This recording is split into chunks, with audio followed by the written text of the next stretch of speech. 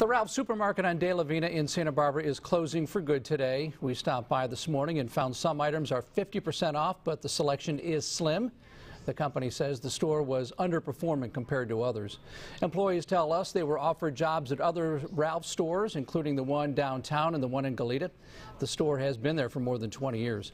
News Channel 3 has confirmed a grocery outlet store is moving in.